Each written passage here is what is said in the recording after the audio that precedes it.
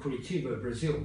I'm excited about the upcoming issue of Aesthetic Surgery Journal to be published in January 2017. In this issue, my colleagues Luis Auersvald, Carlos Weigel, and myself are publishing an article on cervical rejuvenation.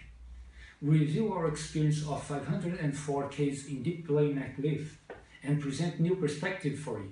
We thank Dr. Nahai and the editorial board for this opportunity.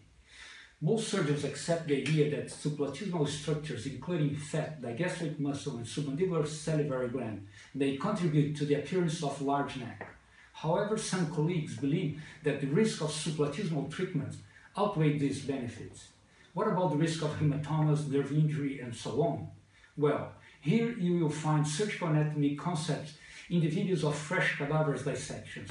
We go step by step through the surgical approach of deep neck with edited videos and professional figures. We explore consistent surgical tactics to prevent hematomas such as the obliteration of the submandibular salivary gland at its partial resection. The hemostatic net is also revisited. This is a tactic in which all dissected spaces are closed, eliminating the occurrence of hematoma in the first 48 hours. After close to 900 cases, cases performed, it has transformed our surgeries in much safer procedures.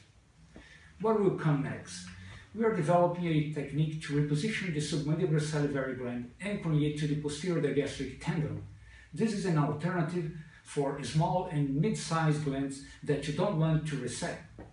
Although subplatysmal neck lift requires a long learning curve, the results obtained from this strategy described here confirm that it can be performed in a safe and predictable way.